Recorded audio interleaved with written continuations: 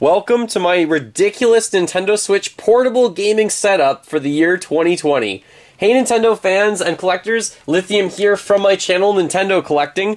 What I have here is my Nintendo Switch console hooked up to a portable gaming monitor, which is getting powered by an external battery pack, which is actually my carrying case for the Nintendo Switch, and none of this is plugged into a wall or an AC adapter. I'm going to go through it, but first, let's take a trip back to the past and see what it was like to try and do portable gaming on this brick way back in the late 1980s. 30 years ago, you could play the original Game Boy, obviously portable. All you needed to do was put in four batteries into the console, then you could play something like Pokemon Yellow on the go. But if you didn't want to do that, there was such thing as accessories and a portable, rechargeable battery pack for the original Nintendo Game Boy. I want to thank my buddy Jordan for getting this to me. This would clip onto your, I guess, belt buckle or your hip or in somewhere that you can clip it onto. You could even keep it in a fanny pack designed by Nintendo, and you could charge this up and then play your Game Boy without having to use batteries. So it was the original kind of portable gaming setup. The one that I got did come with everything. It came with all the instructions and the styrofoam, which is pretty cool. So you would take this rechargeable and you would plug it into the wall, give it a charge with the cord right there, of course, and right here is the clip. So you would clip this onto yourself, I guess, somewhere near your hip, and then plug this into the console. And now you don't require the batteries, you just power the system on.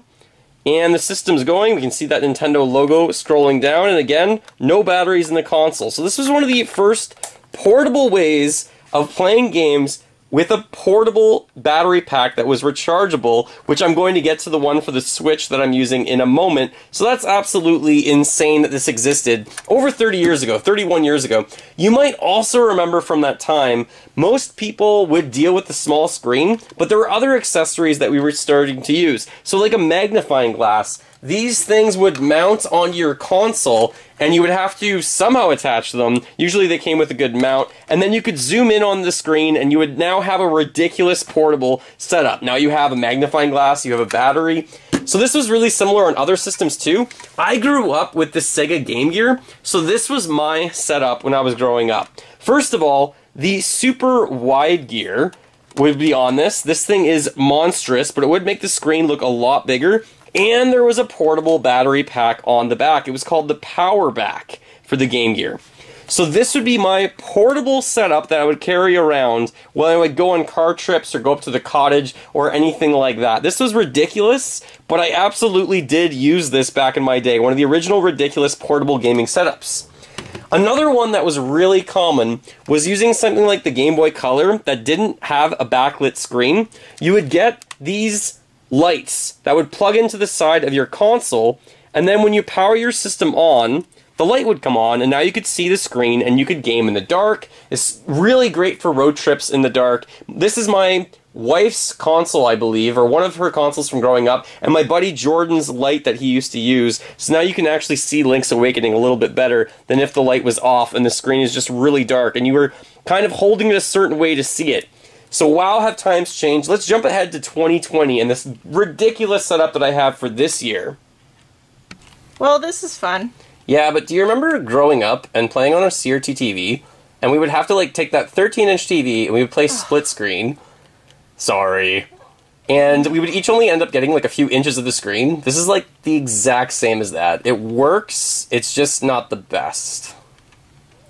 Yeah, like, do you have a bigger screen? This would be terrible to try and play on like a plane, or or like if we went to a cottage or something. It's so small. Yeah, bigger screen would be a lot better. If we can find a bigger screen that doesn't need to be plugged in to the wall. This is way easier to see. Oh my gosh. Yeah, it's a lot better, and all we have, so we plugged in the switch to the monitor, and then we also have the portable battery pack. The rechargeable battery pack that I'm using today is this one right here. I like the themed colors of red and black, of course, for Nintendo Switch. So this is made by BestorX. It's a very durable hard case shell that uses a magnet to charge your Switch. So I'll show you that in a second. First of all, let's open this up and just check it out really briefly. So in here we have, this is what it says for the information. So it says BestorX. This is the magnetic charging battery case for Nintendo Switch specifically.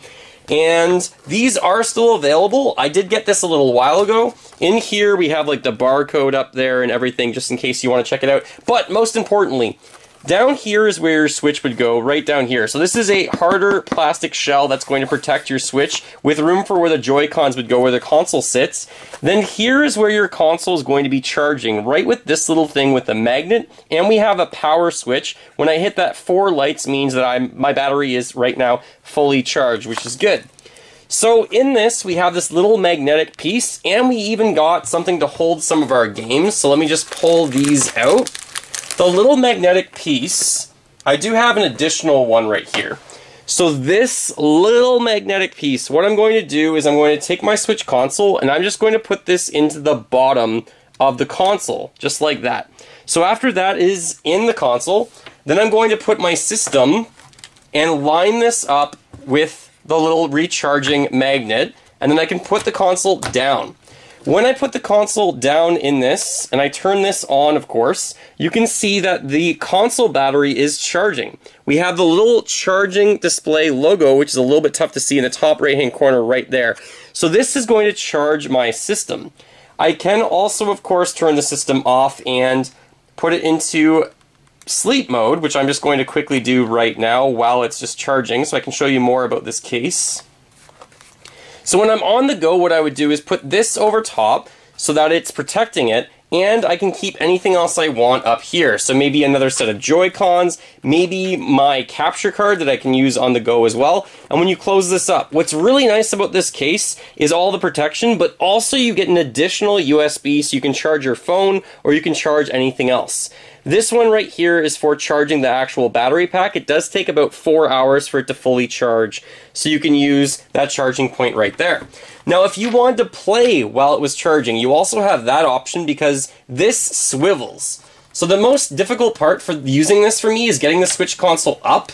But once you have it up, what you would do is you can put this down and about like that. So it kind of makes like a support stand. Then you put the system here and now it's going to be charging while I'm going to be doing gameplay. So I can have it just like that, and we can sit it down if we're at maybe we're going to the cottage, or maybe at some point I'm back to an airport and I want to do mobile gaming. So now I can actually charge while I'm on the go. This is really cool to use in tandem with the next thing I'm going to show you. The portable gaming monitor that I'm using is made by Lepow, the logo is kind of recognizable. It almost looks like this is a Pac-Man symbol. I'm not even sure if I'm pronouncing this correctly, if it is Lepow. On the side of the box, it says that this is a Type-C portable display, but it also works with HDMI, and that's why you can use it with the Switch or with your computer as a second screen if you wanted. So this is a 15.6-inch Type-C portable display, HDMI, USB Type-C, and a 3.5 jack for your audio in case you're wondering. This one is made in China. Let's open the box and see what's inside because this came with a lot of things that I was hoping it would come with, but I was pretty pleased. There is a three year and six month warranty that you have to register for and you have to activate, so I need to do that still. So in here we have some foam. Let's get rid of that. And of course, we have the monitor. Before the monitor, you have a protective screen that's going to go on the monitor. That's great that it comes with it. Usually you have to buy those separate from a lot of companies. We have the AC adapter in its own little bag. I just want to show you what this is. Oh, of course. Okay, so this is just a standard AC adapter with the USB input. Put that to the side. We have the cord I assume this is the cord to charge it if you want to charge the display, but you can use external charging, and the screen actually can be powered by the switch, which I'll show you in a little bit as well. So this is to charge it if you want to separately have this plugged into the wall, but you don't need to have this plugged in the wall, and that's why I like this so much. So this is about the same size as a laptop in terms of dimensions this way, but it's a lot thinner than a laptop. So if you have a laptop bag, this will fit in. This comes with a case, it looks like, that's a very, very similar to an iPad. So I'm just going to put that there for the moment. We have two cords here. So let's take a look at what the cords are. This is USB-C to USB-C, so this would go in the switch, and then the other one would go in the portable monitor. So take that out and put the bag to the side. And this one is an HDMI and USB, no, mini USB, mini HDMI and an HDMI. So it has this capability because this one plugs into the portable display, the smaller mini HDMI, and the normal one would could plug into your PC or any other device. And then we have the instruction user guide right here, and you have an introduction and an FAQ. So lots of different things that we can read into if we need to. And it also comes with a patch installation and cleaning kit. So it comes with a lot more than just the portable monitor itself, but let's look at the monitor because this is what really matters. So once we open this up, all right, let's open it up this way. So when I open it up, it looks like this is the exact same kind of thing that you can use for other monitors, especially with iPads and things like that. It does have a screen over top of this. So huge, 15.6 inch screen, as I said. So let's take a look at the side. On the side of this, we have the inputs. So here you have the HDMI, the mini HDMI, we have the USB-C, and we have the headphone jack. On the other side, just drop the case. On the other side, we have the USB-C, which you would plug in the switch. We have a button that's like a toggle button, which is really weird and interesting that I've got to talk about in a moment, and a button to kind of power this thing on and off. The setting control on this Lepow portable monitor, on the side there is a little wheel that you can hit. If you hit it down, we're going to be changing the volume up and down basically. But you have to first start by hitting it down, then I hit the bottom button to exit. If I hit that little wheel up first, it's going to change the brightness, so I can move the brightness all the way down. Maybe that will be a little bit more visible on the screen anyways. Hit the bottom button and it goes away. If I hold in the wheel, this comes up with the general menu screen. So we have brightness, contrast, black level, and sharpness.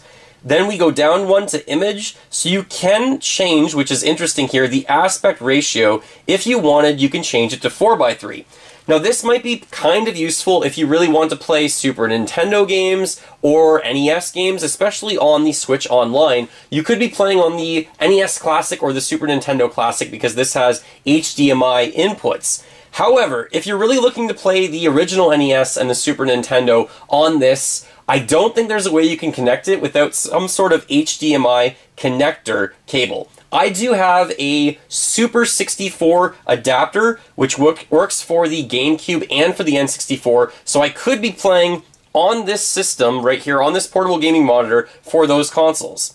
So going back and then going down, we have color temperature, we have OSD settings and transparency as well as there, and language. Then we have reset, mute, and volume control. And lastly, we have signal source. You can change from type C for the input into USB or into HDMI, I should say.